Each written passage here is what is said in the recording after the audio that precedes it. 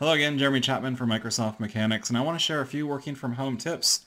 Today I'm going to share one about uh, bandwidth etiquette and basically the things that you can do to reduce bandwidth that you're either using your end or also recipients are receiving their end with just one quick trick when you're presenting PowerPoint presentations from Microsoft Teams. Let me show you.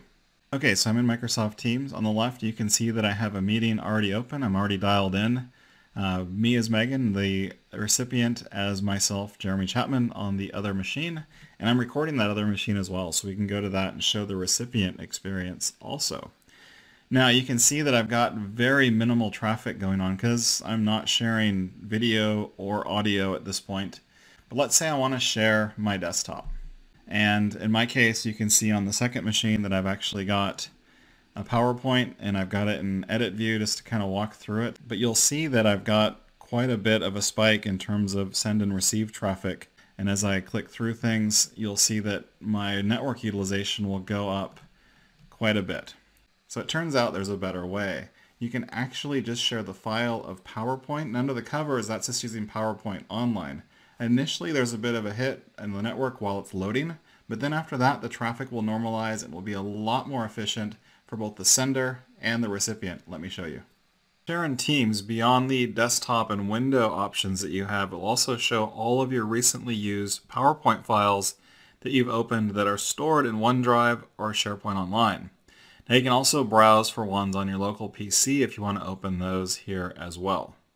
Now I'm going to share the same file. I'm going to use PowerPoint uh, and have it actually run that package into Microsoft Teams using PowerPoint Online. You can see it's a little bit different in terms of how it renders. It lets me go through the slides here manually and on the recipient's computer you'll also see that I can I can go forward in advance of the actual presenter, go back to the presenter or take control. But this you'll see as the as the numbers start to tail off a bit is a lot more efficient in terms of network utilization.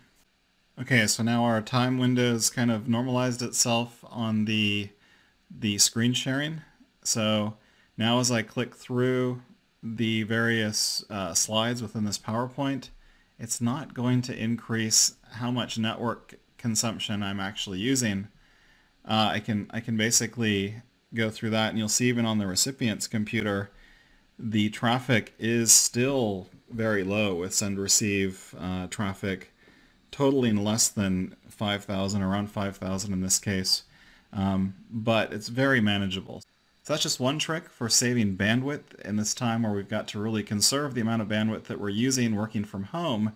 And for more tricks like this, check out aka.ms slash WFH mechanics. See you next time.